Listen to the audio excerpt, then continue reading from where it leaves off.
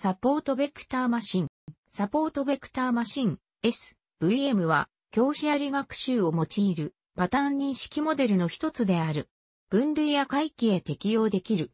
1963年にウラディミル N、ベイプニック、アレクシーやケルバネンキスが線形サポートベクターマシンを発表し、1992年にベルンハルト・イー・ボーザー、イゾベル・エムグ4、ウラディーミル・エヌ・ベイプニックが非線形へと拡張した。サポートベクターマシンは現在知られている手法の中でも認識性能が優れた学習モデルの一つである。サポートベクターマシンが優れた認識性能を発揮することができる理由は、未学習データに対して高い識別性能を得るための工夫があるためである。サポートベクターマシンは線形入力素子を利用して2クラスのパターン識別機を構成する手法である。訓練サンプルから各データ点との距離が最大となるマージン、最大化長平面を求めるという順、長平面分離定理で線形入力素子のパラメータを学習する。最も簡単な場合である、与えられたデータを線形に分離することが可能な、例えば3次元のデータを2次元平面で完全に区切ることができる場合を考えよう。この時、SVM は与えられた学習用サンプルを最も大胆に区切る境目を学習する。学習の結果得られた長平面は境界に最も近いサンプルとの距離、マージンが最大となるパーセプトロン、マージン識別機で定義される。すなわち、そのようなパーセプトロンの重みベクトルフォーミュラ1を用いて長平面はフォーミュラ2で表される。学習過程はラグランジュの未定常数法と KKT 条件を用いることにより最適化問題の一種であるとつ二次計画問題で定式化される。ただし、学習サンプル数が増えると急速に計算量が増大するため、分割統治法の考え方を用いた手法なども提案されている。次のような学習データ集合フォーミュラ3が与えられた場合を考える。フォーミュラ5は1もしくはマイナス1の値を持つ変数で、フォーミュラ6が属したクラスを意味する。フォーミュラ6はフォーミュラ8次元の特徴ベクトルである。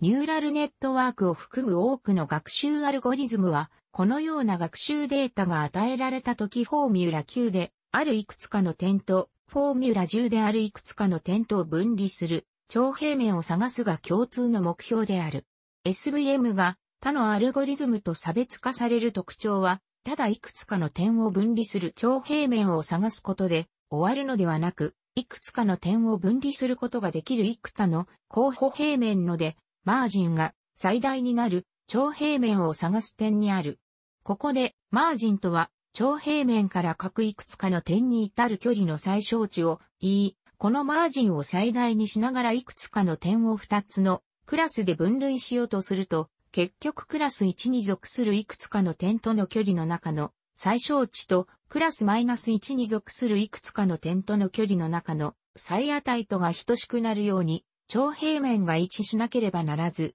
このような長平面をマージン最大の長平面という。結論として SVM は2つのクラスに属しているいくつかの点を分類する幾多の長平面ので、最大限に2つのクラスのいくつかの点と距離を維持するものを探すアルゴリズムと言える。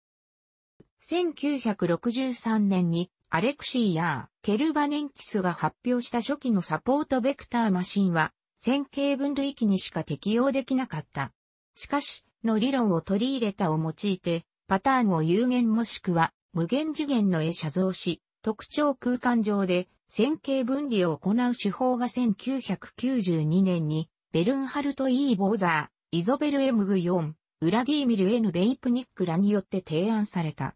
これにより、非線形分類問題にも優れた性能を発揮することが分かり、近年特に注目を集めている。なお、カーネル関数を取り入れた一連の手法では、どのような写像が行われるか知らずに計算できることから、カーネルトリックと呼ばれている。主に下記のカーネル関数がよく使われていて、リブスベムでも実装されている。2005年にヨアニス・セキャントリデスらが構造化、SVM を発表した。任意のデータ構造を扱えるように拡張したものである。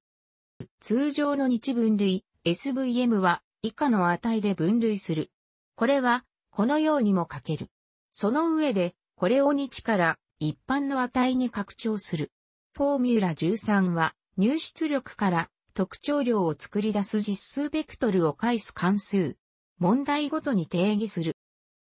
そして、下記の損失関数を最小化するように最適化問題を解く。ここでは L に生息化をつけている。フォーミュラ15は生息化の強さを表す定数。フォーミュラ16は出力の類似度を表す実数を返す関数。問題ごとに定義する。フォーミュラ17であり、異なる値同士なら0よりも大きくなるように設計する。上記の最適化問題を解くには工夫が必要であり、その後も提案が続いているが、2005年に提案された方法は下記のように上階となる関数フォーミュラ19を作る。その上で下記の最適化問題を解く。フォーミュラ19の作り方として二通りが提案された。楽しくご覧になりましたら、購読と良いです。クリックしてください。